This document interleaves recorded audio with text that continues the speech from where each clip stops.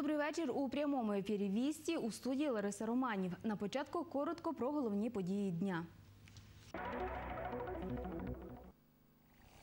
Готуй сани влітку. В області триває підготовка до осінньо-зимового періоду. 17 серпня традиційно у чотирьох мікрорайонах обласного центру ярмаркуватимуть. Завдяки реалізації проекту ЄС місцевий розвиток, орієнтований на громаду, у Теребовлянському районі вирішили проблему енергозбереження у школах. Годинник з квітів встановлять у Тернополі у парку національного відродження до Дня міста.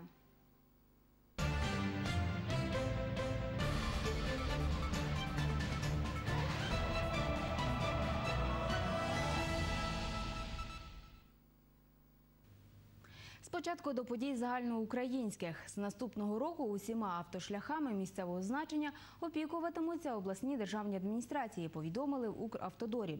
Відтепер в регіонах вирішуватимуть, які саме дороги там ремонтувати та як на це розподіляти кошти. Реорганізують і саме акціонерне товариство Укравтодор, щоб забезпечити прозорість при виборі компаній, що займаються ремонтом доріг. Докладніше далі. У 2014-му Укравтодор планує відремонтувати 7700 кілометрів доріг місцевого значення. Витратити на це планують майже 5 мільярдів гривень. Наразі 2370 кілометрів доріг в Україні потребують капітального ремонту, кажуть у профільному держагентстві. Там визнають, ямкового ремонту вже недостатньо. стан доріг такий, що, як образно кажуть наші дорожники, їх зібрали докупи. Це такі дороги, на яких вже ніякий ямковий ремонт не допоможе. І там необхідно суцільно перекривати покриття. Для цього зараз вишукуються додаткові ресурси, щоб ці роботи терміново виконати. Але зрозуміло, що це буде напівміра, кардинальна ситуацію треба змінювати буде наступного року. Задля більшої ефективності роботи планують реформувати систему державного управління дорожнім господарством. Відтак, відповідальність за стан доріг місцевого значення разом з коштами на їх ремонт перейдуть до обласних держадміністрацій. Таких доріг в Україні 117 тисяч кілометрів. В Укравтодорі впевнені, на місцях краще знають, які дороги в першу чергу потребують уваги. Реорганізувати Укравтодор планують для забезпечення прозорості при виборі компаній, що займаються ремонтом автошляхів. Як побажали переважна більшість керівників облдержадміністрацій, вони повинні отримати і до сфери управління підприємства, які так чи інакше все одно будуть виборювати право на виконання робіт з експлуатаційного отримання, з ремонту доріг на тендерах. Таким чином планується реорганізувати державну акціонерну компанію Автомобільні дороги України. Розподіляти гроші на ремонт автомобільних доріг в областях будуть залежно від протяжності мережі автошляхів, їхньої категорійності і транспортної роботи з урахуванням інтенсивності руху.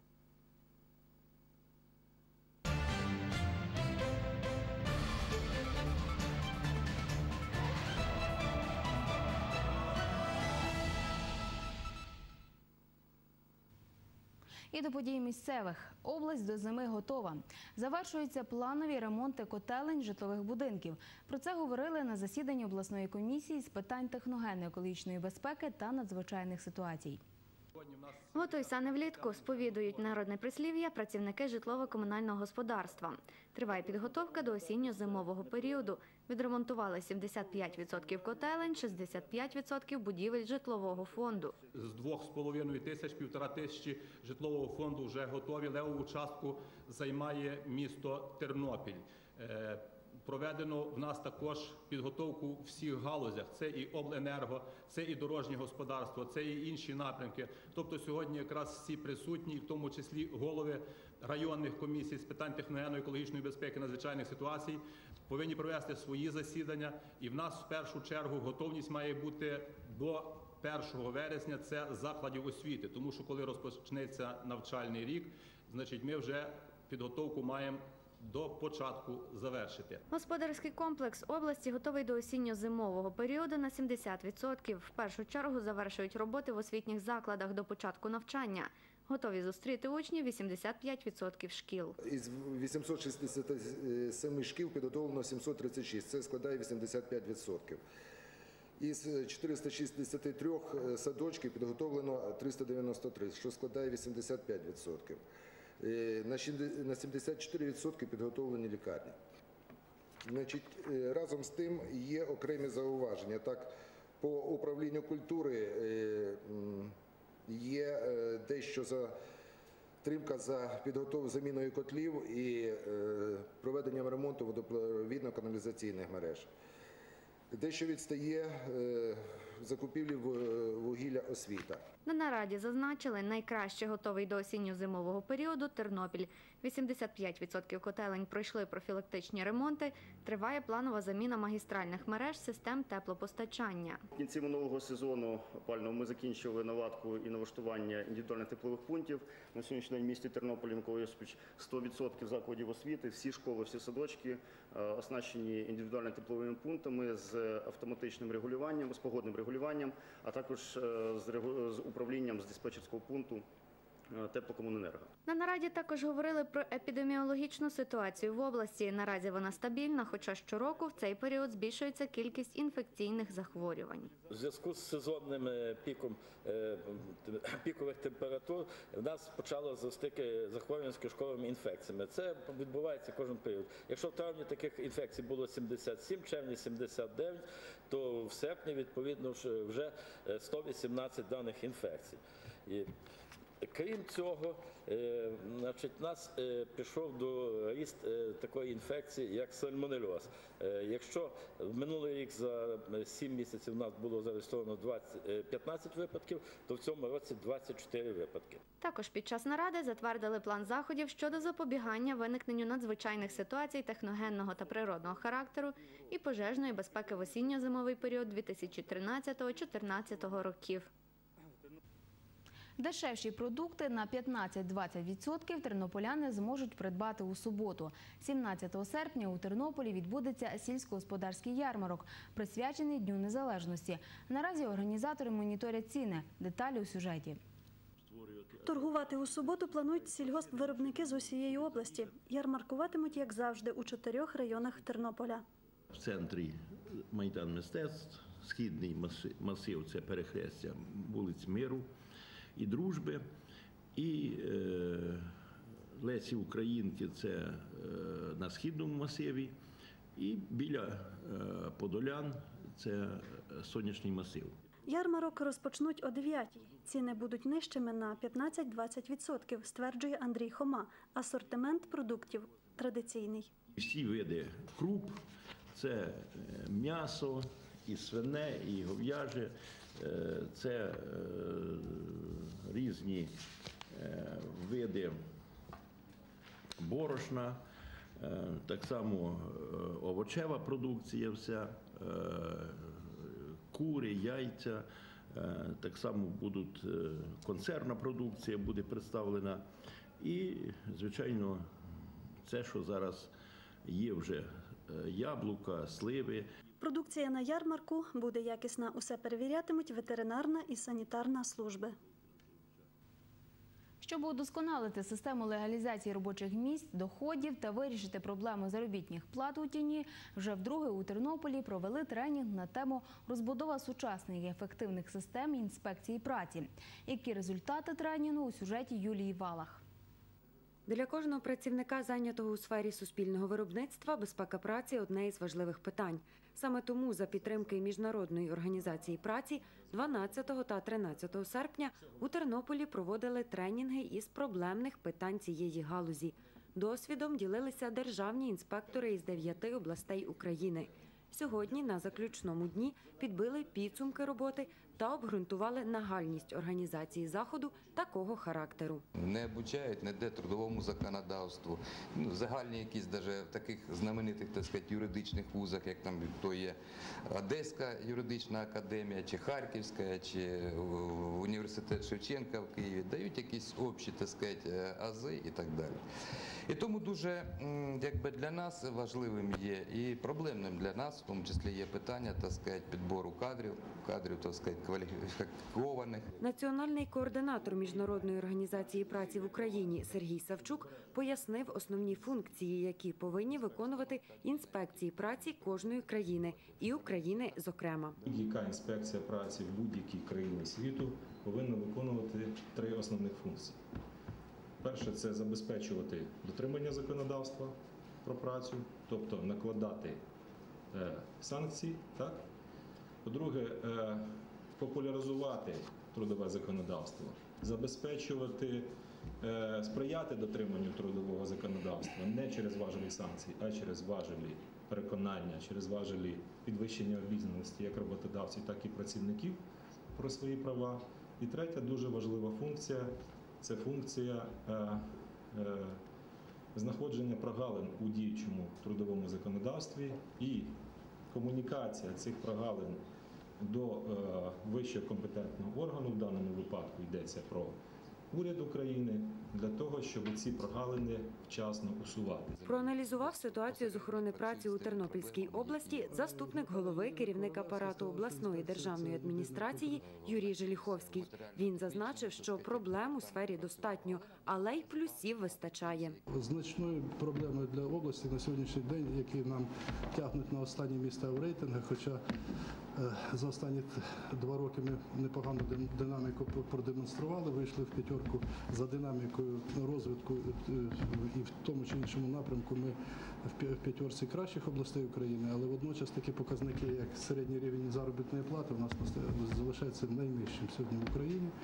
Тут є об'єктивні суб'єктивні причини. Хоча ми за два роки з 1610 гривень е, вивели середню заробітну плату 2300, зараз трошки збільше більше. Це непоганий показник. Всім учасникам семінару вручили сертифікати про підвищення кваліфікації.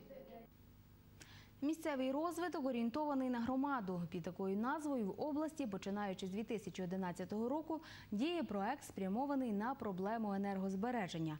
Реалізація відбувається через співфінансування ЄС та програми розвитку ООН коштами громад, районного бюджету і спонсорів. Для участі у другій фазі проекту відібрано 9 районів області і 37 місцевих рад та створені громадські організації. Наші кореспонденти побували у Турбулянському районі, де у рамках цього проекту завершені два об'єкти. Ще на двох роботи тривають. У Дарахівській загальноосвітній школі навчається 292 учні. Взимку їм доводилося мерзнути у холодних класах. Хоча школа газифікована, вікна, які не міняли ще з часу побудови, тобто з 1964 року, пропускали тепло. Тепер, коли завдяки проекту місцевий розвиток зорієнтований на громаду, у школі замінили понад половину старих вікон на енергозберігаючі. Сподіваються, що дітям буде тепло тут навчатися. Бувало, що і 16 градусів, і 17, і Тобто досить так прохолодно. так, так. І тим більше, що дуже часто були е, поломки у паливній системі, і це створювало труднощі. Завдяки реалізації проекту ЮЕС у школі також міняють систему опалення. Стару котельню переобладнують на більш економну на палетах. Загальна вартість проекту 230 тисяч гривень. Після тривалих організаційних робіт жителі все ж відгукнулися, адже ООН надає лише частину коштів, решта спонсори і районний бюджет. 5% від суми має зібрати громада. У нас були залишок грошей, не залишок, а ті гроші, котрі люди здавали, підключаючись до газу, ми їх теж сюди використовували. І на е, сьогодні ми маємо вже стільки замінено вікон, але 140 вікон то не так просто. І ми дякуємо, завдячуємо і людям, які відгукнулися, які дали ті кошти, які підтримували нас. Реальний результат економії від заміни вікон і дверей відчули у школі сусіднього села Хмелівки, де навчається менше 100 учнів, а навчальний заклад розрахований на 390. Проект був втілений раніше, у першій фазі. Нині у селі розпочали вже другу. Капітальний ремонт ФАПу. Замінено три вікна, зроблено в трьох кімнатах, зроблено стяжка, замінено шість дверей. Е, І зараз вже цього тижня приїжджають, почнуть е, робити ремонт, продовжувати ремонт. Гроші виділили. е, Наша обласна адміністрація минулого року виділила 10 тисяч, а районна цього року 42 тисячі 400 гривень на цей. Зібрано 5 тисяч зібрано з населення. Марія Носко працює тут з 1996 року. Каже, раніше фельдшерсько-акушерський пункт практично не опалювався. Раніше умов, то можна сказати, не було аж таких. Вікон не було, тепла не було, опалення. Таке було опалення, що добре не опалювало. Тепер є конвектори, газ провели, підлоги попереливали, бо паркет заломлювався. Люди задоволені, можуть роздітися, покапають їм тут уколи, тепло, дітей приводять, можна дитину розібрати. Головна мета проекту вирішення проблеми енергозбереження. В області уже розпочали нові проекти із впровадження альтернативних джерел тепло та енергопостачання.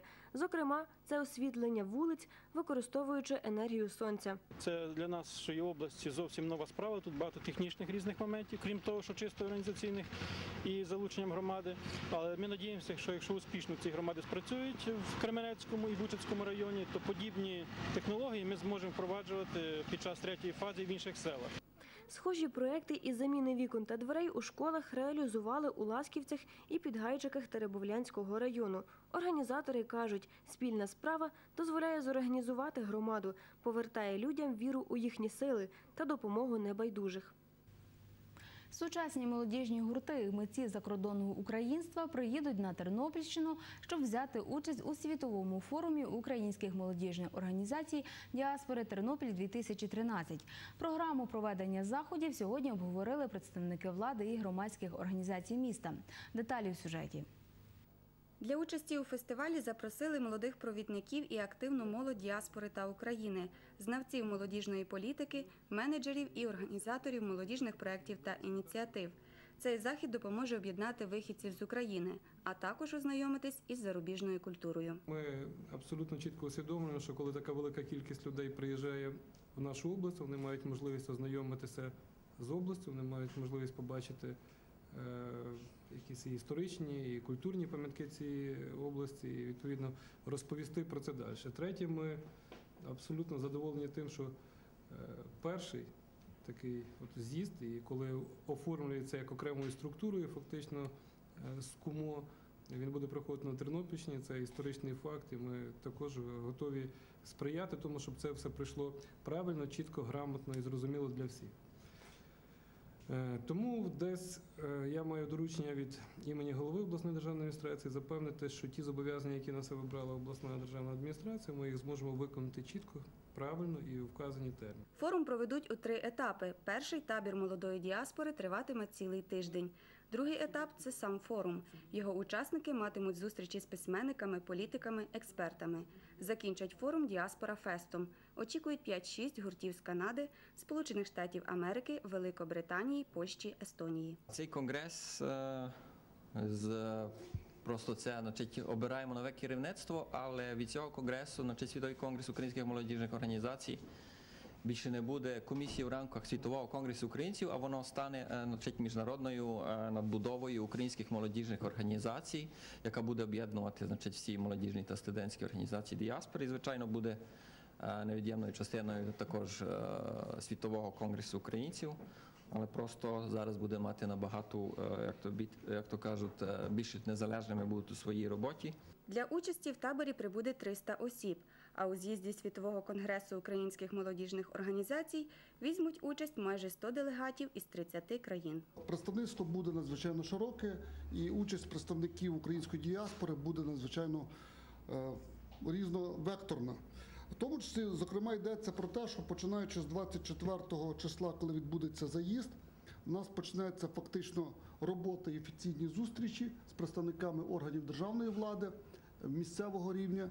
І з 25 числа по- по- починається повноцінна робота 25 серпня. Е, Робота безпосередньо буде відбуватися в приміщенні е, Тернопільської обласної ради в сесійному залі, де будуть відбуватися пленарні і секційні засідання. Зокрема, ключові секції, котрі будуть проводитись, це сесія роль молоді діаспори в світовому українстві, спільний інформаційний культурний простір е, світового українства. Е, Далі плануються секції. Це державна політика України щодо співпраці з діаспорою. Відомо, що за кордоном проживає близько 20 мільйонів українців. З них багато вихідців з нашої області. Організатори хочуть зустріти гостей так, щоб вони почувались як удома. В обласному центрі на чемпіонаті з багатоборства змагалися кінологи з міськрайонних відділів міліції області. Сюжет сектору зв'язків з громадськістю ОМВС України в області. Днями у Тернополі відбувся відкритий чемпіонат з багатоборства кінологів. Продемонструвати вміння своїх чотирилапих помічників зібралися кінологи з міськрайонних відділів міліції області та з пенітенціарної служби. Згідно плану спартакіади УМВС України в Тернопільській області проводиться в нас в кінологічному центрі багатоборство кінологів. У змаганнях взяли участь 12 німецьких вівчарок, адже ці собаки, за словами кінологів, є найбільш пристосованими до міліцейської служби. У кінологічному центрі утримують 15 собак. Ще 8 допомагають нести службу у районних відділах міліції. Собаки по розшуку злочинців, патрульно-розшукові собаки, собаки по наркотичних, по пошуку наркотичних засобів, а також по пошуку е, вибухових речовин. Усі тварини дуже досвідчені. На їх рахунку не один затриманий злочинець. Так, цьогоріч чотирилапі правоохоронці допомогли розкрити понад сотню злочинів. Змагання серед кінологів проходили у чотири етапи протягом двох днів. В даних змаганнях є чотири види. Тобто, перший вид слідова робота, е, тобто спеціальний курс, е, другий вид загальний курс дресирування, третій вид полоса перешкод, четвертий вид е, затримання убігаючого помічника. Чотирилапих помічників також перевіряли на витривалість під час виконання завдань та спритність. За загальними підсумками у командних змаганнях перше місце здобули кінологи обласного кінологічного центру при управлінні МВС України в Тернопільській області. Друге місце завоював Чортківський райвідділ міліції, а третіми стали кінологи з пенітенціарної служби. Хочу подякувати керівництву обласного управління міліції і керівництву кінологічного центру, що надали змогу е, команді обласного управління Державної пенітенціарної служби України в Тернопільській області взяти участь у відкритому чемпіонаті з багатоборства кінологів. Переможці та призери чемпіонату отримали кубки, медалі, дипломи та грамоти. До слова, переможці турніру представлятимуть Тернопільщину на всеукраїнському чемпіонаті з багатоборства кінологів, який відбудеться у вересні у місті Одеса.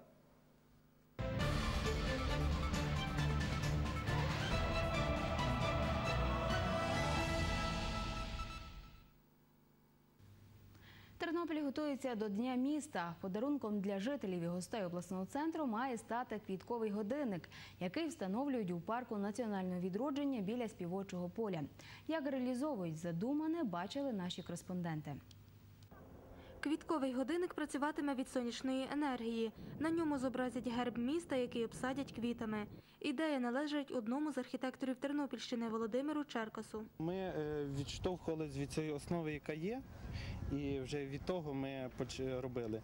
Тут кут не буде невеликий, до 7 градусів, щоб годинник можна було з будь-якої точки проглядатися, і з лавочок, і з дальньої частини, щоб було все гарно видно. Коштує проект понад 200 тисяч гривень. Гроші на це виділяє міська рада. Квітковий годинник має прикрасити місто, каже міський голова Тернополя Сергій Надал. Вартість облаштування самого годинника обійдеться місту до 40 тисяч гривень. Але поряд з тим, що буде зроблений годинник, потрібно зробити благоустрій облаштування території навколо цього годинника і території в парку. Тому заплановано зробити пішохідні доріжки, підходи, е, виходи з, різних боків. І в загальному вартість цього проекту буде коштувати, ну, проектанти ще рахують, ну, я думаю, що це зорієнтовно 1200 гривень, але це разом з пішохідними доріжками. Квітковий годинник встановлюють на місці демонтованої каплички. Більше квіткових хвилин у вашому житті і лише приємних новин. Побачимось у наступних випусках вістей.